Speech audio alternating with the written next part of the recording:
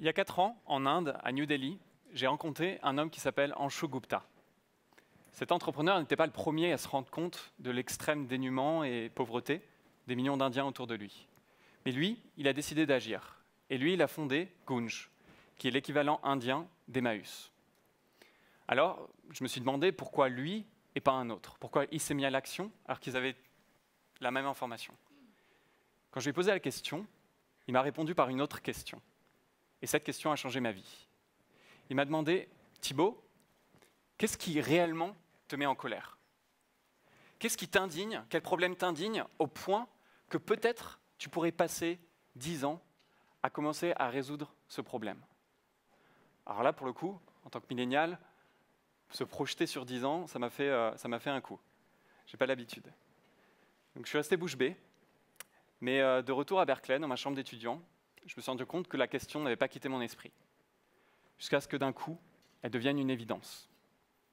Oui, la colère, était là. Elle était immense. C'est juste que je ne savais pas que je pouvais y faire face et que je pouvais commencer à résoudre un problème. Alors, mon père, ma mère et ma sœur sont sourds. Pas moi.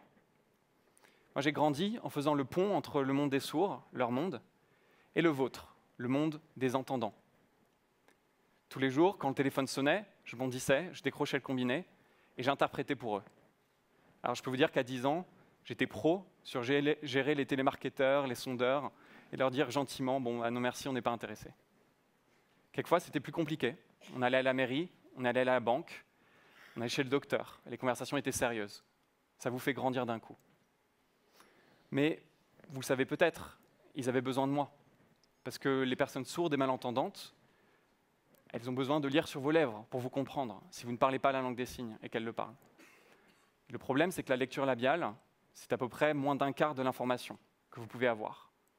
C'est vraiment une lutte constante pour pouvoir comprendre ce que vous dites. Et en groupe, en conversation de groupe, c'est même pire. Mon père, par exemple, au travail, il est intensément focalisé sur son collègue en face de lui. Quelqu'un d'autre commence à parler, bah, c'est trop tard. Il a perdu les mots, il perd le fil de la conversation. Ça lui arrive tous les jours. J'ai vu la même chose avec mes grands-parents qui pour le coup étaient entendants, mais ont perdu l'audition. Je ne vous raconte pas les dîners de famille, c'était le dialogue de sourds. Ah, vraiment. Mais bon, ce n'est pas qu'une histoire de famille.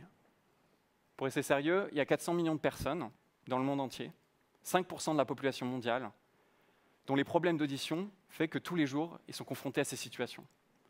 Tous les jours, ils bataillent pour pouvoir comprendre ce qui est dit dans les discussions, les déjeuners, les dîners, à la machine à café, dehors avec des amis, à chaque fois, ils bataillent.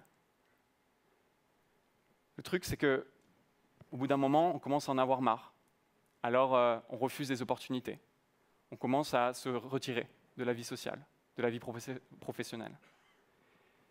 La solution parfaite, ça serait d'avoir un interprète ou un traducteur qui, 24 heures sur 24, vous traduit pour vous. Bon, est-ce que vous allez emporter quelqu'un à côté de vous? Euh, est-ce que vous devez payer 100 euros par heure, cet interprète, ce traducteur Juste pour aller prendre un café avec un ami? 100 euros, c'est beaucoup trop. Voilà, donc on, on, se retire, on abandonne la vie sociale. Alors ça, ça, ça me met vraiment en colère. Et je pense que cette colère a créé en fait cette envie de créer une solution. Donc la bonne nouvelle, c'est que cette solution, elle est possible, elle est dans votre poche. On a tous un smartphone, et il y a un micro sur ce smartphone. AVA, qui veut dire accessibilité audiovisuelle, est une application mobile qui est capable de brancher tous les micros des smartphones des participants d'une conversation. Et ce qu'on fait, c'est qu'on comprend exactement ce que disent les gens en écoutant votre voix, en la reconnaissant entre mille, et en, étant capable de retranscrire tout en temps réel à la personne sourde, en couleur, pour qu'elle sache qui dit quoi en moins d'une seconde on a recréé le sous-titrage à la télé pour les films, mais pour les vraies conversations. Les conversations de la vie sociale, la vie professionnelle. Celles qui comptent. Là, on peut parler de politique, de ce qu'on a fait ce week-end, des news. Aujourd'hui, c'est à peu près 400 millions de personnes qui sont sourdes et malentendantes, on est loin du chemin. On a à peu près 50 000 utilisateurs dont la vie a été bouleversée par ce système de sous-titrage, donc un des, le plus rapide du monde. Notre but, c'était vraiment de leur donner l'opportunité de pouvoir participer et comprendre à toutes les conversations autour d'eux. Par exemple, cet exemple de Jenna, qui euh, était masseuse depuis 10 ans. Sa journée de travail, c'était 8 heures de silence complet, jusqu'au moment où elle a téléchargé Ava et s'est passée en conversation pendant toute la journée avec ses patients. La différence que ça lui a fait, elle a réadoré son métier. Donna, c'est un autre exemple, n'avait jamais pu comprendre complètement son mari qui était entendant. Elle était malentendante.